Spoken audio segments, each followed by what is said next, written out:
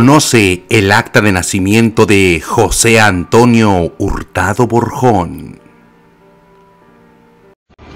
Claudio Arturo Blo. Misterio y más.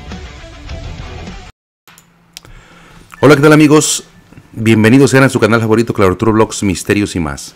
El mundo de Pedro Infante, amigos, tiene muchas vertientes, muchos caminos, muchas opiniones, está lleno de misterios, de intrigas, de secretos, de enigmas.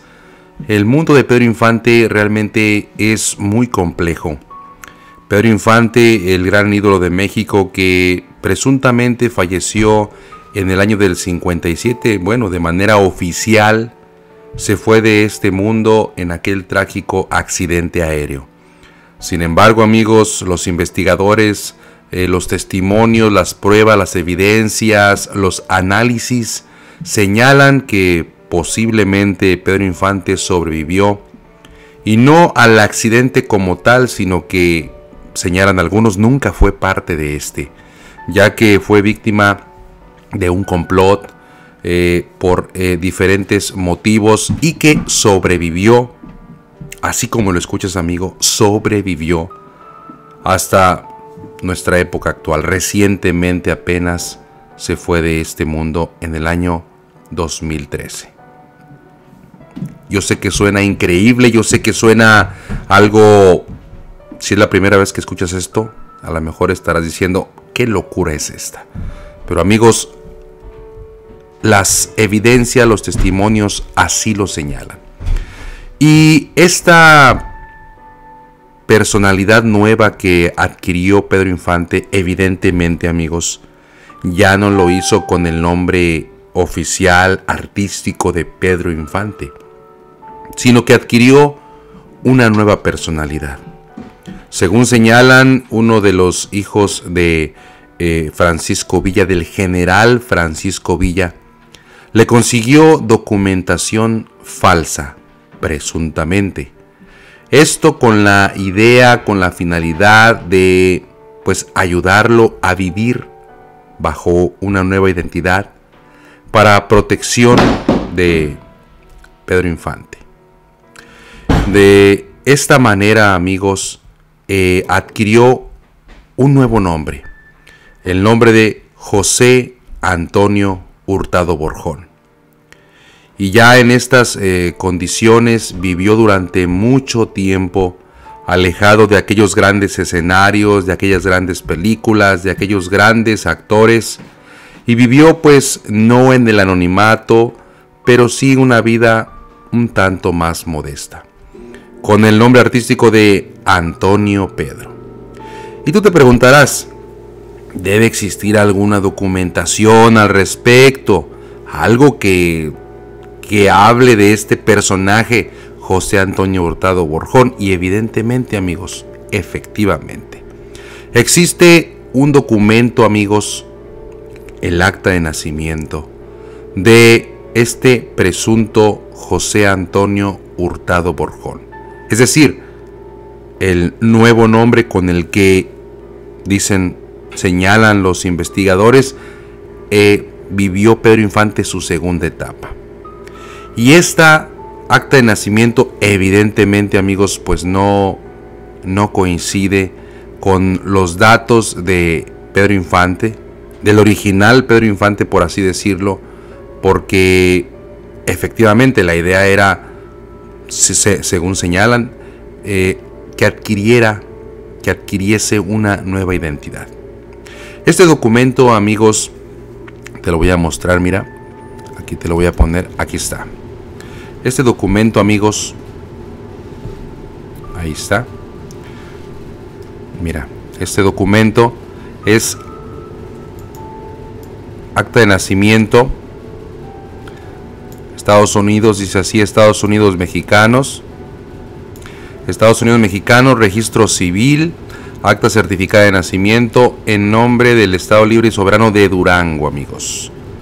Ahí están los datos del oficial, del registro civil, en la ciudad de Lerdo, Durango, amigos, donde se, se, este, se mm, procede con este documento.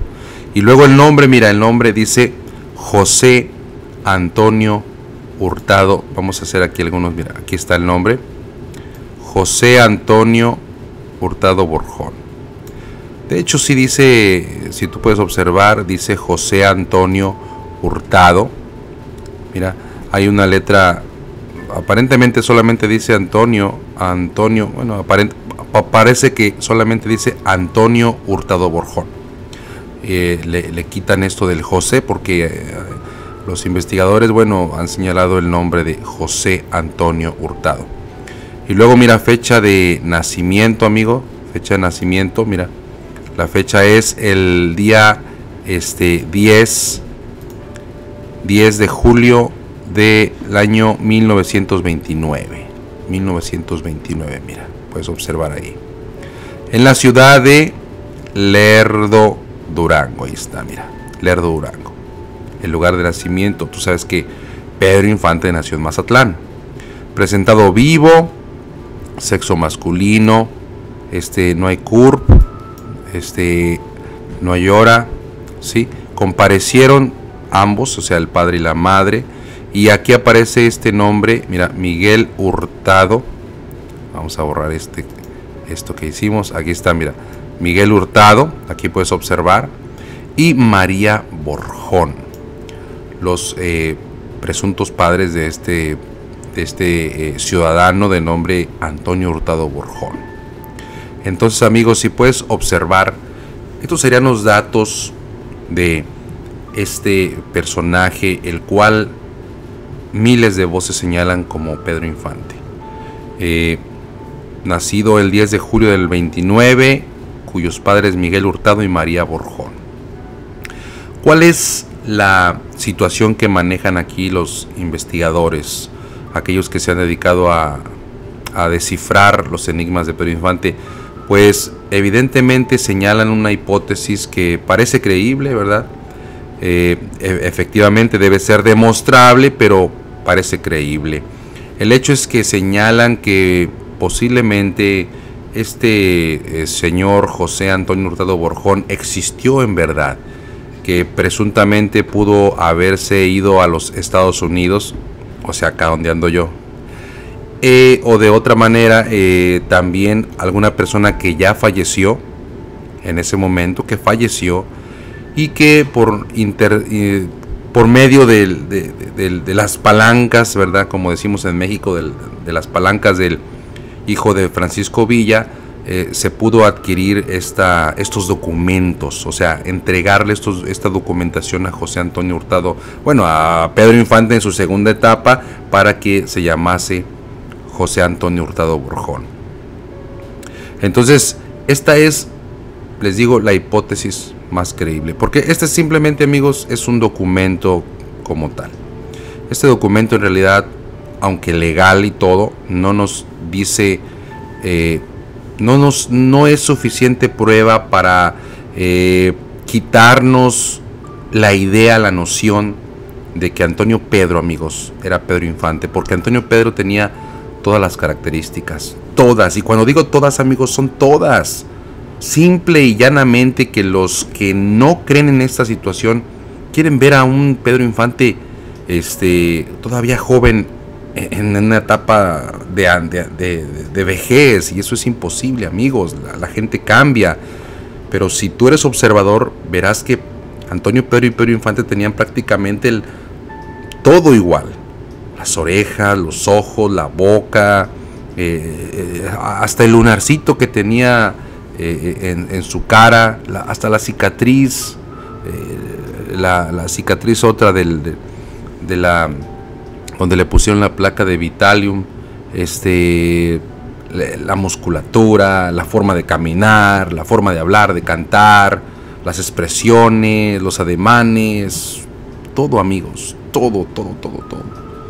Los dientes, este, todo prácticamente. Entonces, o sea, aunque este documento dice José Antonio Hurtado Borjón, eh, muy probablemente, y señalan muchos presuntamente, este, pertenecería a este documento a Pedro Infante, bajo el nombre de José Antonio Hurtado Borjón. Evidentemente, amigos, todavía estamos en pañales en esta cuestión de, de Pedro Infante porque hay mucha evidencia, mucha teoría, pero no hay un reconocimiento oficial. No hay un reconocimiento oficial, no hay una aceptación oficial y popular. Es un tema todavía en pañales, es un tema que mucha gente incluso desconoce, tú tal vez lo conoces ya, pero mucha gente no sabe ni siquiera de lo que estamos hablando. Cuando yo he platicado con personas sobre esa temática, las personas dicen, ¿de qué hablas? ¿Quién es? ¿Cuál Antonio Pedro? ¿Qué es eso? y tampoco hay un reconocimiento oficial por parte de la familia Infante. Entonces sí hay todavía muchas, muchas cosas que hacer en esta cuestión. La idea es seguir investigando, indagando. Y bueno, pues este es el documento, amigos, que el acta certificada de nacimiento de José Antonio Hurtado Borjón. Muy bien amigos, pues yo me despido. Eh, los invito a que me dejen sus comentarios abajo qué opinan acerca de esta cuestión, qué eh, más saben sobre el tema. Y bueno amigos, pues yo me despido. Este, no sin antes recordarles que invitarlos a suscribirse, ¿eh? suscríbanse, suscríbanse por favor, este y denle like y nos vemos en un próximo video. Hasta pronto amigos, bye.